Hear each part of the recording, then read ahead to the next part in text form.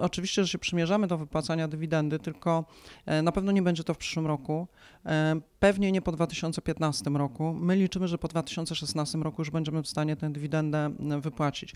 No, przede wszystkim musimy, musimy patrzeć na to, że spółka ucierpiała trochę kapitałowo po tych ostatnich, ostatnich niestety negatywnych no, zdarzeniach finansowych, które miały miejsce w ubiegłym roku i my musimy odbudować sobie pozycję kapitałową. Oczywiście mm, jednym z elementów odbudowywania tego, tej pozycji kapitałowej jest przeznaczanie zysku na kapitał, no i mamy, mamy taki zamiar. Zresztą o tym mówimy dość, dość wyraźnie, że tutaj ten 2015 rok też będzie takim rokiem budowania właśnie e, bardziej naszego bezpieczeństwa kapitałowego niż dzielenia się jeszcze tym zyskiem z e, naszymi akcjonariuszami, ale bardzo chcemy się dzielić zyskiem z akcjonariuszami.